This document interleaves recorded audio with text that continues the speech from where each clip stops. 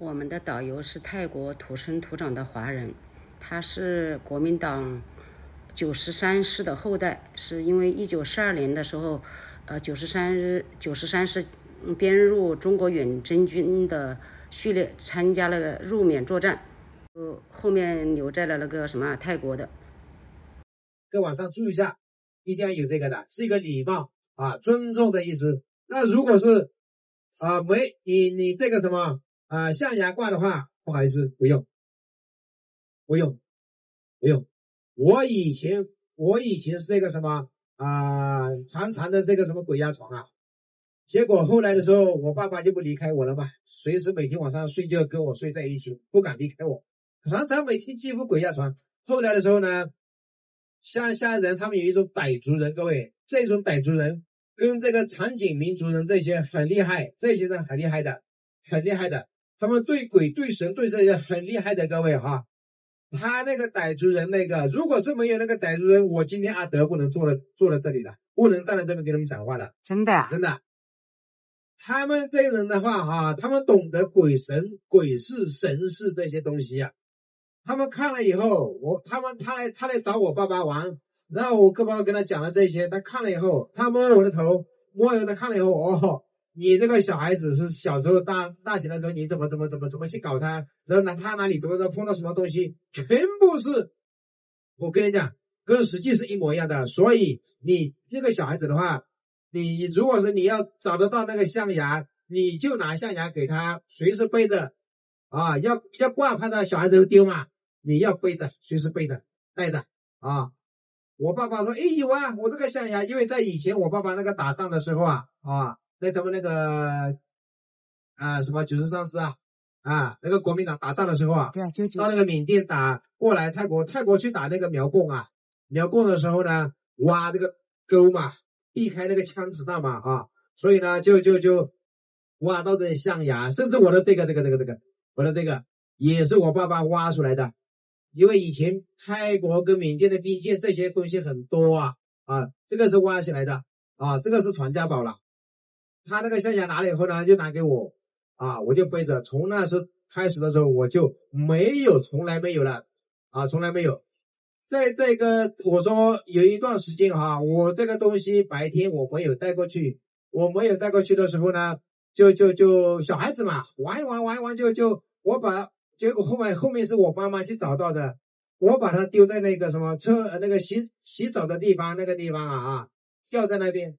结果那天的话，玩一玩，玩一玩他就跳出去了，掉进山上去玩。玩的时候呢，人家那个乡下人的话，他们过世了嘛，他们就烧，他们要火化嘛。他们要乡下的火化的话，还有刀啦，还有斧头啦，还有什么家具那些，全部搁在一起。因为希望说他过世了以后，这些东西他拿过去，他下一世他还可以再生存下去啊，是这样。结果小孩子看到那个那个斧头嘛，他的他的那个手把是树啊木头嘛。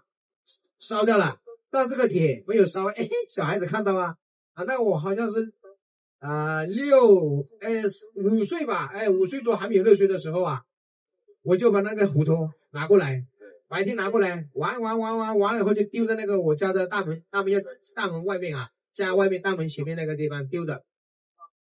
你知道吗？黄昏的时候啊，各位太阳快要下山的黄昏的时候啊，我这边就挂起来了。叫的叫，动的动，谁都拿不了我。三个大人啊，三个大成人拿不了我一个五岁多的小孩子。到晚上的时候，我一直都不睡，不那个。到晚上的时候啊，我的这个这这两个地方冒出那个那个角啊，牛角那个地方不是那么长，但是会冒出来这这么长，圆圆的这么大，这里冒出来，这里冒出来，所以没有办法了。我爸爸妈妈就怪就就奇怪了嘛。就奇怪了，所以就马上差不多在十二点左右晚上了，就晚上又没有电灯，什么都没有，有那个油油灯啊，一段路过去多么多么困难的，就把那个那个那个傣族那个那个老那个那个老前辈把他叫过来，那一个老前辈过来以后，掐到我家的围篱笆，围篱笆一只脚掐下来以后，我就马上就在那边就动啊，我个什么都谁都拿不了我。在打的打叫的叫什么的吼的吼的在那边，所以他那个一只脚唰先进来以后，我就在那边就定静静静了。啊，进京了。然后他进来以后呢，就就开始给我念，不啦不啦不啦不啦不啦不啦不啦不啦不啦念念好以后，他就他就用他念的那个水啊啊那个那个圣水啊，在我头上唰下去一下哈，然后就在我头上就听说了哈，我不记得了，在我头上捏了以后，这样这样唰下去以后，我才哎才才才睡下去啊，因为那天我没有带那个，所以这些东西哈，你要说你要说没有吗？也难说。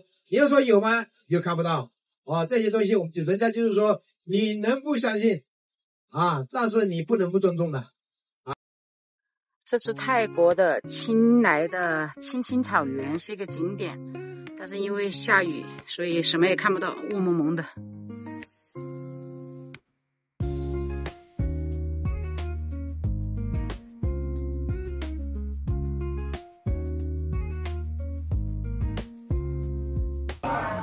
地方叫玻璃屋，好漂亮啊！我们在这里吃饭，唯一的遗憾就是天气不好，如果不下雨更漂亮更绿哈。现在就是有点雾蒙蒙的了。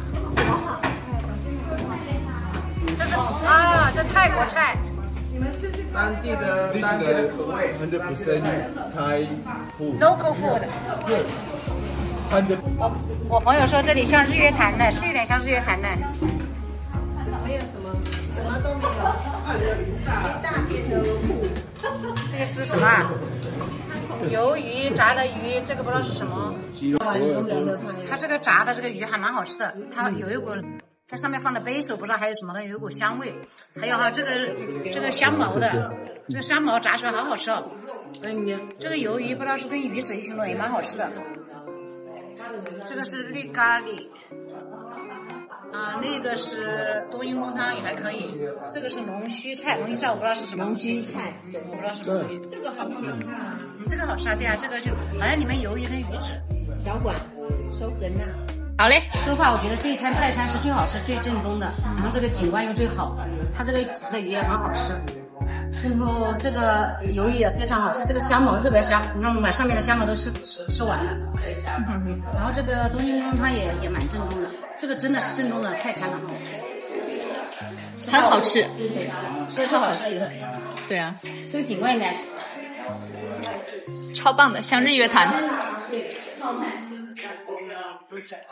我们这个坛呢，总共是十二个坛员，嗯呃，有一个呃台湾的导游，一个本地的导游，一个司机，等三个人服务我们十二个人。好像不赚钱，我们感觉，因为一人才交一千美金，包吃住。对呀、对呀、他酒店不是很好，但是你想想，你要是自己来做的话，你的钱就三个三四个晚上酒店钱，是不是？对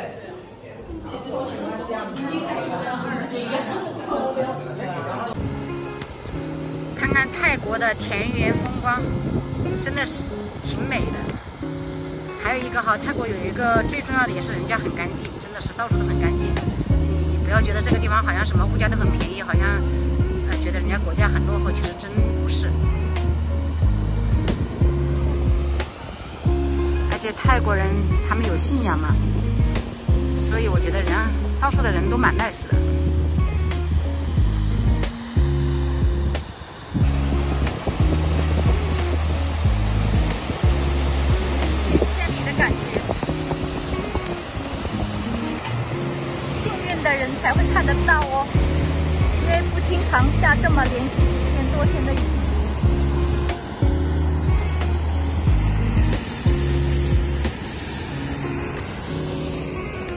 这是水库，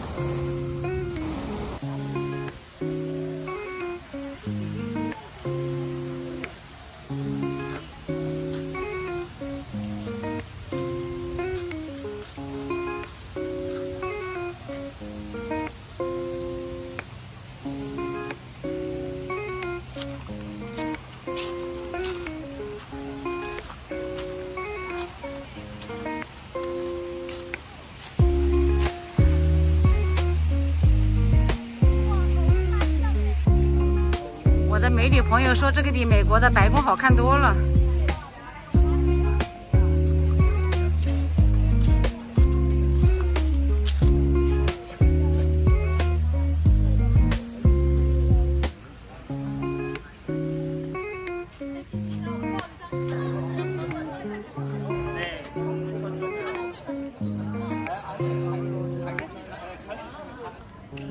这个金碧辉煌的建筑物，猜一下是什么？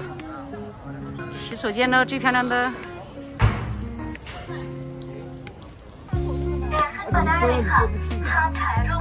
这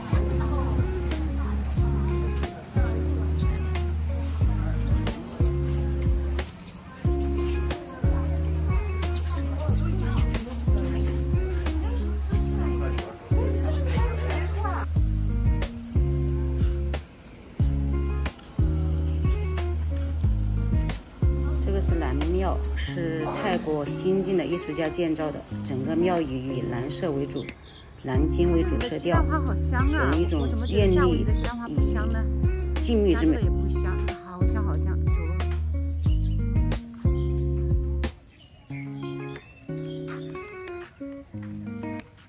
木瓜吊着卖的。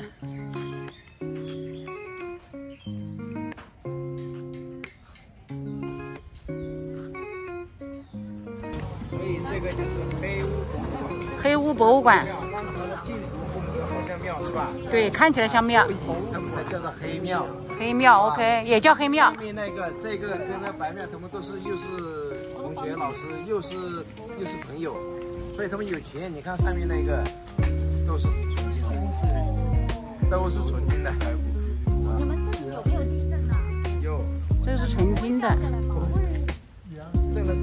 强挣了挣了一次，也没有一来打我们这个清迈跟新来，就是因为这些以前的这些以前的梅山，那跟我们这个树啊，以前是上深海的，也一样，很早以前这个真。的鳄鱼皮。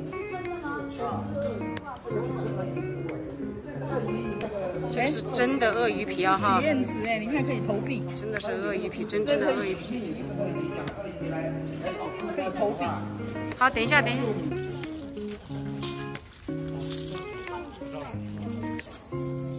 这整间屋子全是鳄鱼皮哦，所以挺值钱的。他都关起来不让进去，只能在外面看。今天的晚餐，好像一天好像一天到晚都在吃东西嘞。这是今天的晚餐，这什么鸡肉，又是这个这个高丽菜每天都有啊，是吧？然后虾，这家是导游说是比较贵的餐厅，因为我们这一顿哈，它上面标的是每个人六百五泰铢，没吃什么了，就就五六个菜，也没什么贵的菜，但这家就装修的比较好了，它有个庭院呢，然后它这里还有个有个吧，但是没客人哈，就我们两桌，没有一桌客人，就我们两桌，可能现在就是国内的客人不来了之后，所以就生意不好，真的是没生意，就就两桌。吃完晚餐，导游给我们逛青来夜市。就等下找不到他们了。这个芒果糯糯米饭，我朋友说他没吃过，他说要要要要买一个来吃试试。但这个在那个什么，在美国的泰式餐厅里面都有啊，它是一个甜点嘛。泰国菜冬阴功面一百二，这个六十，这一排全是这种小吃了。我们刚刚吃完饭也吃不下了，看一看呢。逛逛。这是今晚的酒店，它有一个晚上是五星级的，不知道是不是这一家。这是在青莱，这家花园看起比昨天那家好很多。昨天看到像个小，前两天看到像个小招待所，这个还看到像个酒店的样子。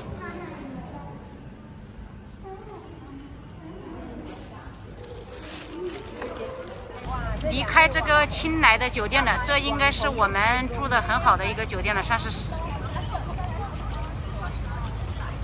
青莱。好了，我们的青莱一日游结束。这个酒店我不知道叫什么名字，这个酒店，这是应该我们三个晚上最好的一个酒店。